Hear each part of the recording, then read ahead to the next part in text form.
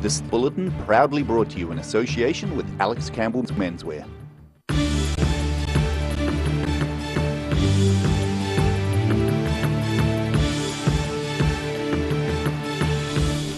Tonight on the South Today, the Invercargill City Council asked for public opinion on the future of its city heritage buildings.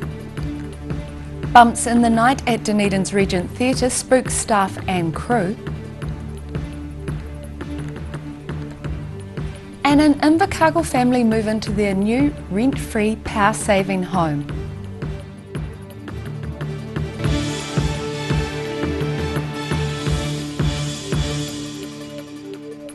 Kia ora, good evening, I'm Melissa Barton. The Invercargill City Council is asking the public for its views on the future of the city's heritage buildings.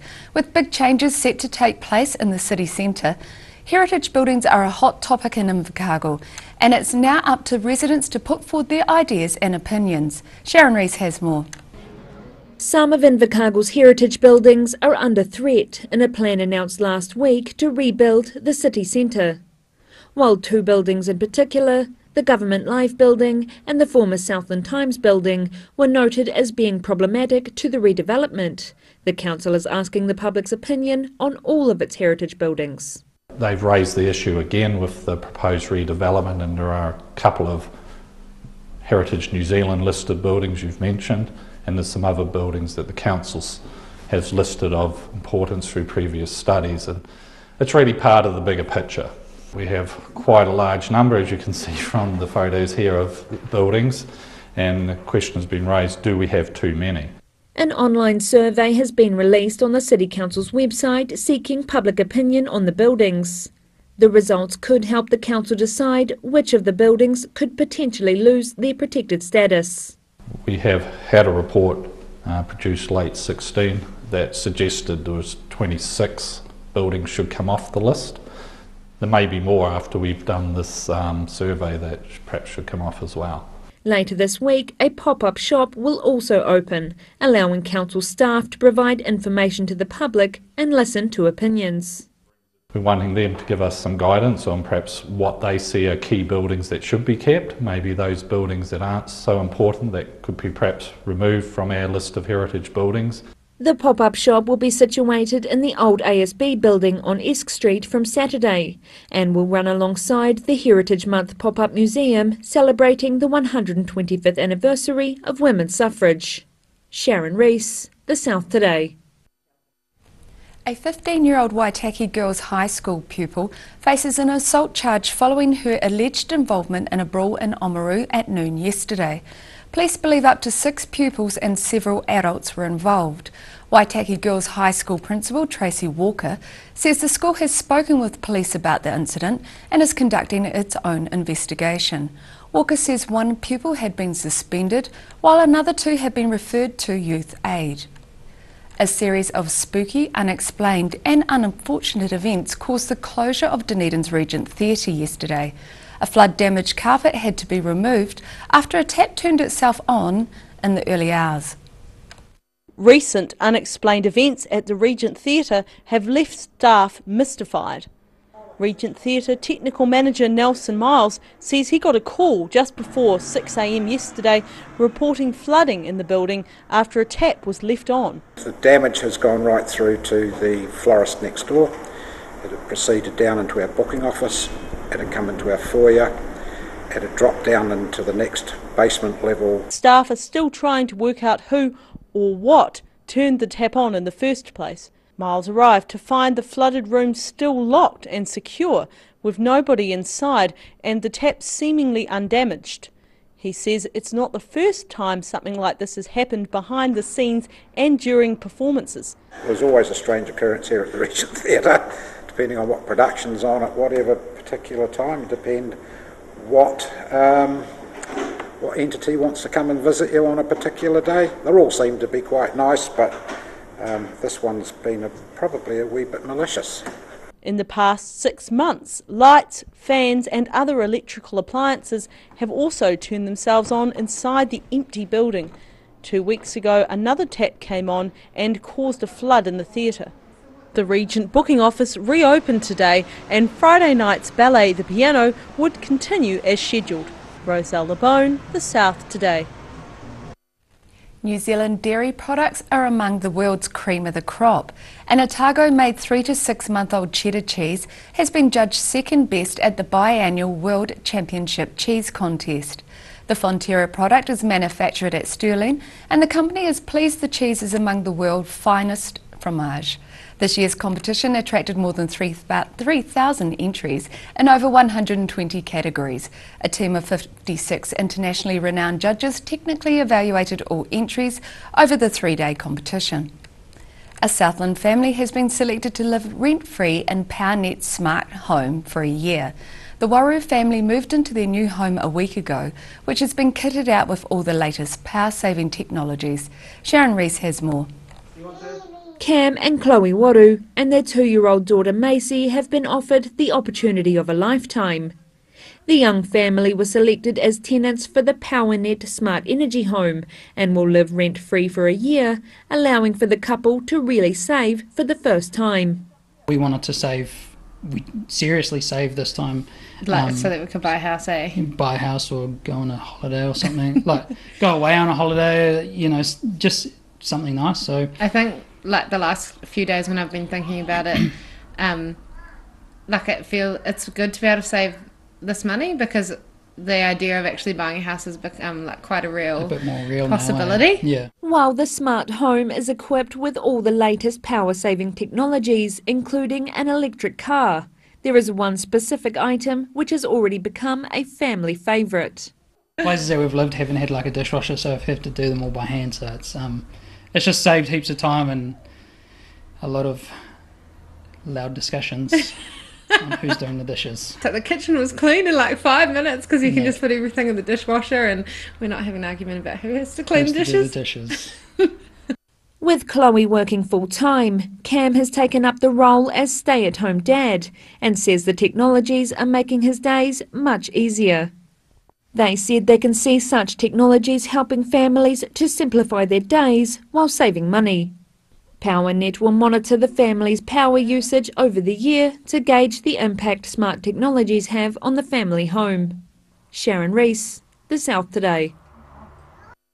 Still to come on the South today, we remember the life of Dunedin educator Rakesh Pandey with his family and people whose lives he touched. And the Dunedin City Council moves a step closer to putting a citywide sinking lid on pokie machines.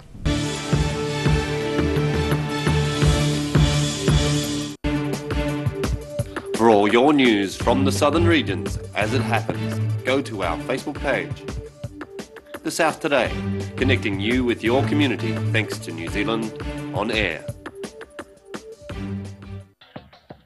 At Action Engineering, the team make their mark as innovators in engineering because they don't just make things, they provide solutions. Call now on 477 1643 or go online to see the services they provide. Why wait for seed to germinate? Why not do it the smart way? For instant results, call Ready Lawn today or for more information, go to readylawn.co.nz. EFTPOS, point of sale and cash registers. Rent, lease or buy. Mobile EFTPOS and fixed terminals. Short or long term rentals. Contact Anything's POS today. 0274 361 474. Hi, Lindsay at Alex Campbell Menswear. We have our three stores on sale. It's our summer clearance sale. Look at all these t-shirts, 50% off. Look at all these polo shirts, 50% off. Look at all these woven shirts, short sleeves, 50% off. And there's more. Shorts. All these shorts, 50% off. Every reason, every season, we're proud to dress the region. Alex Campbell Menswear, it fits. But wait, there's more. 25% off all our regular lines off the normal price. Free heart transmission. Please open your heart. She is flowing freely. She is nourishing. She is loving. Call Sunny Chin for peace in your heart. The Terminus Apartments, where heritage meets modern sophistication and where the past is Dunedin's future. These one or two bedroom apartments are fitted with modern amenities room to move, and spectacular harbour and city views. Contact us now to have your piece of luxury. EFTPOS, point of sale and cash registers. Rent, lease or buy. Mobile EFTPOS and fixed terminals. Short or long term rentals. Contact Anything's POS today. 0274 361 474. At the Hard to Find Bookshop, we sell quality books on all subjects from the rare to the recent, and where viable, we will come to you. We have a great reputation for integrity and honesty, so if you're downsizing or sorting an estate and have books to sell, contact us.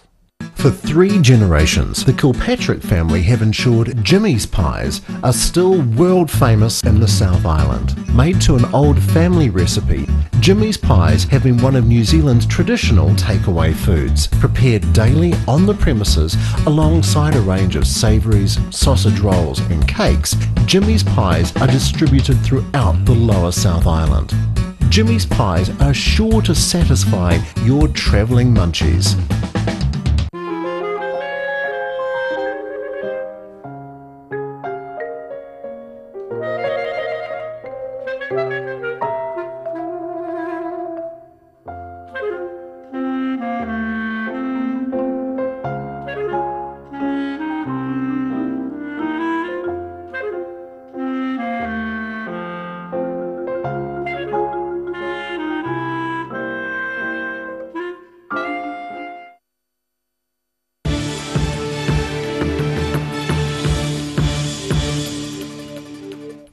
Welcome back.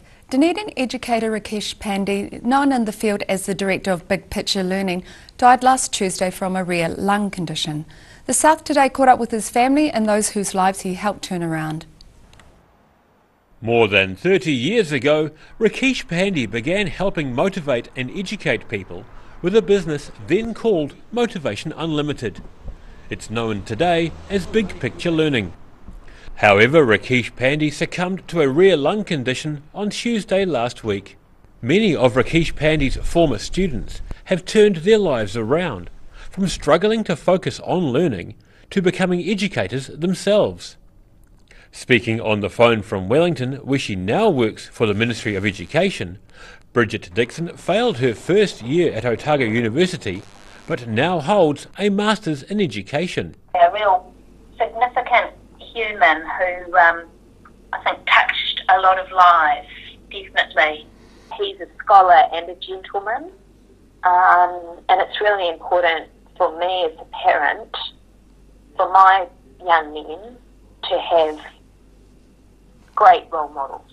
Um, and I couldn't have thought of a greater one. Wow.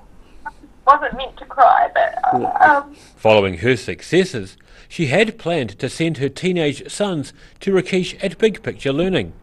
Dunedin people Sophie Barker and Paul Allen have known Rakesh Pandey through similar circles for many years and agree there are many people in Dunedin who feel the loss of his passing. I met him at the Cook, which was an infamous meeting place of all sorts of people. So we were friends for um, over 30 years, and we also went to a lot of Chamber of Commerce functions together. And he was also actually tutoring my daughter, and part of that was, you know, the amazing way that he managed to take all of these children and lead them and inspire them to do their absolute best. He was quite a hero in that way. Oh, look, I think there's a, a large number of uh, uh, people who are going to be affected by this. He's had a, quite a large number of students who have worked quite closely with him, and he's man- and continued. well is was going to be working with this year as well. So um, yeah, I think he's going to be um, quite quite uh, badly lost to the city. It's unclear what the future of Big Picture Learning will be. Rakesh Pandey's funeral was held in the Dunedin Crematorium Chapel on Friday. Daryl Baser, The South Today. The Dunedin City Council is a step closer to having a city-wide sinking lid on pokie machines. The proposal has been hailed as a positive step towards recognising the harm caused by gambling. The South Today found out more. Dunedin has currently over 400 gaming machines around the city, which see around $16 million being gambled away every year. However, the City Council is proposing to extend a sinking lid on pokie machines across the whole city. The Council's hearing committee heard firsthand about the harm that comes from gambling, according to City Councillor Aaron Hawkins. Um, you know, hearing what damage can do to people, you know, people losing their families and losing their house and losing their children and losing their job. Yeah, it's pretty hard to hear those stories and not feel like we're obliged to do what we have the power to do in terms of uh, minimising harm or reducing harm over time. Fiona Cambridge works for the Problem Gambling Foundation, providing help to people with gambling addictions. She says that the proposal is a positive step for the well-being of the city. Yeah, so Dunedin has really done an amazing job in recognising that gambling is causing harm, actually, and that they want to do something about it. The proposal will see a very gradual decrease in gaming machines around Dunedin. I mean, the sinking lid is actually doing something about it, but it's a slow, long process, you know, so it's a gradual reduction in, in machines, which will gradually reduce harm. 40% of the money spent by Dunedin's gamblers goes towards funding sport and arts. However, that funding is not necessarily local.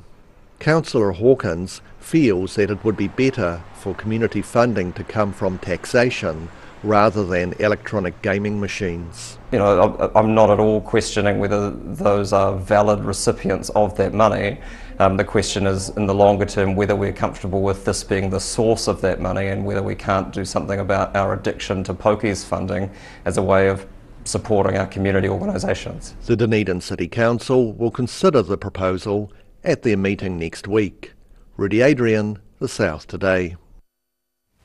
After the break on The South Today, Dunedin's colourful and controversial mural of UK singer Ed Sheeran is unveiled, and we take a look at some of the exotic delicacies on display at the annual Hokitika Wild Foods Festival.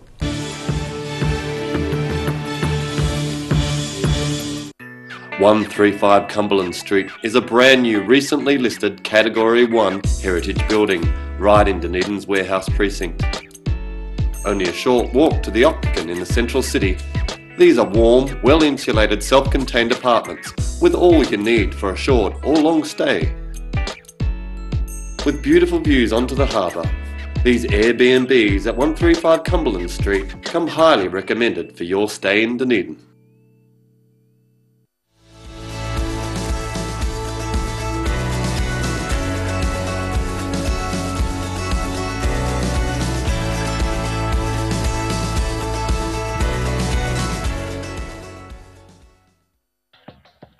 At Action Engineering, the team make their mark as innovators in engineering because they don't just make things, they provide solutions. Call now on 477 1643 or go online to see the services they provide. Why wait for seed to germinate? Why not do it the smart way? For instant results, call Ready Lawn today or for more information, go to readylawn.co.nz. Garador Dunedin, delivering quality stylish garage doors in Dunedin for over 15 years. New doors, replacement doors, repairs and maintenance are all part of Garador's quality service. Garador Dunedin offers a full range of modern quality doors to suit any home. Come visit the team at 553 Kaikorai Valley Road. Visit www.garador.co.nz or call us on 488 5676. At Action Engineering, the team make their mark as innovators in engineering because they don't just make things, they provide solutions. Call now on 477 1643 or go online to see the services they provide. Oh, I'm not happy with this product demonstration, Ralphie. Oh, relax. It's all about balance. The balance between softness and strength. And my balance is perfect. Hmm, so we won't fall. Of course not. Hi, Ralphie. Oh, hey, Oh. you. Whoa. You fell for it. Yep, I fell for it. Cotton Softs. Softness and strength you can trust. I'm cotton soft on the environment too. Active interior designer Mornington the curtain and blind experts. The team can even advise you on outdoor products like awnings and umbrellas and will ensure that everything is perfect. For interior design with flair, call Active to book your free in-home consultation or call into the showroom in Mornington.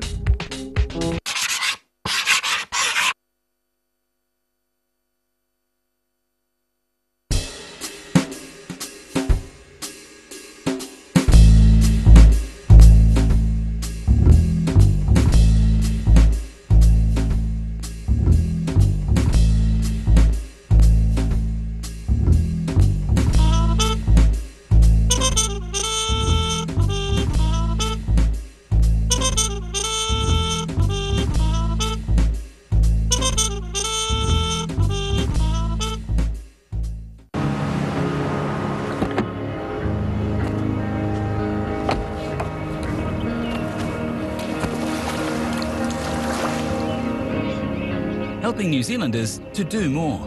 Talk to MTF today. EFTPOS, point of sale and cash registers. Rent, lease or buy. Mobile EFTPOS and fixed terminals. Short or long term rentals.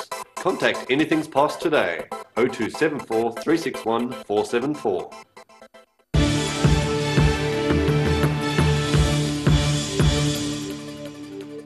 Thanks for staying with us. Books nobody wants to read anymore are being turned into artworks for the Regent's 24 hour book sale. Rosella Bone explains. Jennifer Anglin and Matthias Schorer are lighting up about these old books reimagined as works of art. The new initiative Books as Art is coming this June to the 38th Regent 24 hour book sale. Books as Art encourages people to transform the pages of old books into sculptures and artworks. Organiser Matthias Schorer says it's an opportunity to reuse books creatively and to give them new life, and anyone can do it. This book here was created by Kathy Fitzsimons, who basically took inspiration from uh, the narrative in the book to create um, what you see here in front of you. And how she started off was by uh, getting a little bone folder and folding these individual pages and then uh, inserting this light structure in behind the book. And so this one here is not actually by uh, an artist per se, it's just by someone with um, real natural creative flair and we want to not only encourage artists to get involved but everybody in the community. While it's a fundraiser for the Regent, it's also a win for local artists. It'll be a 25 75 split, so the, the Regent gets 25% of the proceeds and the, um, the artists get 75%. And um, we're giving them the materials, the starting point of the materials, to create something wonderful with these books. Those who want to turn their hand will be able to pick up free pre-loved books from the beginning of March until late May at the Otago Polytechnic Hub, the Athenaeum, First Church and the Rosalind Mill. Entries will be judged by Dunedin Public Art Gallery Director Cam McCracken, who will lead a panel including artist Nicola Jackson. Roselle LeBone, The South Today. Dunedin's controversial mural of UK singer Ed Sheeran was finished last night and it's attracting many eyes. The watercolour work cost taxpayers more than $8,000 but that hasn't been an issue for people taking selfies with it today. Finished late yesterday, this artistic interpretation of English musician Ed Sheeran was the work of Tyler Kennedy Stent.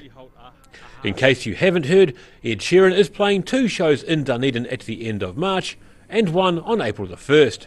One of the people taking pictures of the colourful piece is Dunedin street art walking tour guide Victoria Gilliand, who says the artist has a huge future. I love it. I think it's just outstanding. And Tyler, the artist, is incredible. I believe that give him 20 years he's a young man, he's only 20 years old, but give him another 20 years, and I believe he's going to be New Zealand's best known living artist. Gilliand says in the hour or so she was there this morning, she saw many people either having a quick look down Bath Street or walking down to take pictures. Walking up from the car is just countless. I, I've just parked the car of the way down the street, but as I was walking towards the mural, it was just a constant stream of people walking down specifically or just walking past. As we spoke, more and more people stopped to take pictures of the art, or indeed to take selfies with Tyler Kennedy Stent's work. So, when in Rome, or Dunedin in this case, one simply had to. Victoria Gilliand says just before the South Today arrived, she'd had an argument with someone who's opposed to the mural, which she cheekily says only adds to the publicity. Daryl Baser, The South Today. And now recapping tonight's top stories on the South today. Big changes are in store for Invercargill CBD. The public has been asked for its views on the future of the city's heritage buildings. The Regent Theatre was closed yesterday after a tap turned itself on in the early hours. And a Southland family has moved into their rent-free smart home for a year. And now it's time for a look at what's happening in tomorrow's ODT. Welcome, Phil Somerville. Hi, hi Melissa. Um, big thing tomorrow is a special edition of The Fresh. It's 12 pages uh, in compact size, lift uh, to take out of the paper. Lots and lots of recipes, Bevan Smith, Alison Lambert and co so on. Hot cross buns on the cover, but uh, things called hot cross scones inside. And we, before we were discussing, we're not sure what the difference is. I'm sure many viewers know, but I'm curious to find out. I want to know the difference between an Easter bun. So all sorts of recipes, chocolate, the works. Wonderful. Uh, another big story, the uh, uh, the Peninsula Cycleway plans. Uh, only tenders come in $20 million over the estimates. It's back to the drawing board on that. And the university roll, very encouraging, substantial uh, increase in first year numbers and increases in the humanities too. So that's very good news for the university and for Dunedin. Wonderful, thank you. Good to have some positive news for Dunedin as well. And now it's time for a look at tomorrow's weather. Tonight's weather proudly brought to you by MoleMap. Looking at the situation, a rare week of westerly airflow ahead with week co with cold fronts washing past in the next few days, but a more active front and colder southwesterly airflow due on Friday. Looking at the southern towns, Balclutha, Catlins, Gore and Lumsden, you can all expect fresh westerlies with some afternoon showers and a high of 15 degrees. Going westwards to central Alexandra, Wanaka and Queenstown, you're all in for fine weather with moderate westerlies. Alexandra, you have the high of 20, Wanaka reaches 18 and Queenstown hits 17. Te Anau is in for fresh westerlies, showers and 14. Looking at the weather further north, Oamaru and Timaru you have moderate westerlies, some cloud and 18. Omarama and Twizel you have fine weather with moderate westerlies and a high of 19 degrees. In Dunedin, Mostly fine tonight with an overnight low of 8 degrees. Tomorrow fine with high cloud and moderate westerly winds with brief possible showers late afternoon and a high of 17 and low of 10. And fine with sunny periods and high cloud on Thursday with moderate northerlies high of 20 and a low of 10 degrees. And in Invercargill tonight, some cloud with an overnight low of 7 degrees. Tomorrow, sunny periods with fresh westerlies, a few scattered showers likely during the afternoon, a high of 15 and a low of 8. And on Thursday, sunny periods increasing high cloud and freshening northwesterly winds. Some rain at night with a high of 18 and a low of 10 degrees. And that's our news for this Tuesday. For the latest news from the Southern region, you can follow us on Facebook and at channel39.co.nz. Take care, ka kite anō.